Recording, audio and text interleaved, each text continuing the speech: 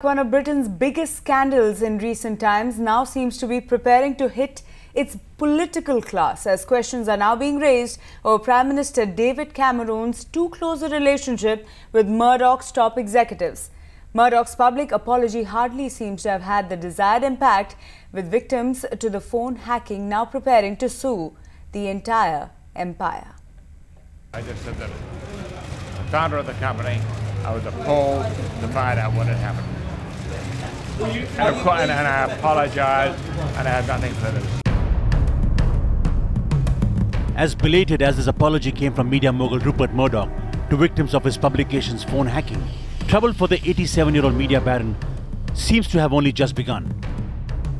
Close on the heels of Rebekah Brooks' resignation, News International faced another casualty.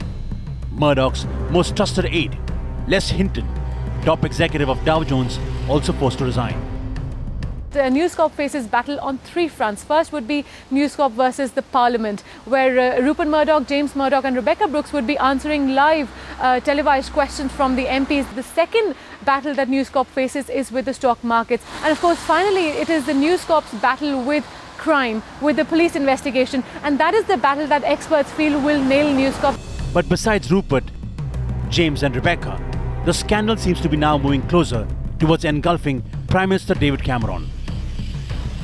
Reports now reveal that Cameron hosted several News Corp senior executives at his country home Chequers in Buckinghamshire, even as police investigated allegations of telephone hacking. His close association with Murdoch now being questioned by the opposition and his ability to be impartial. Well, I think they've got to put the matter right. They misled Parliament, they've harmed a number of victims of crime. Meanwhile, the full page apology in the papers hardly seems to have quelled angry victims.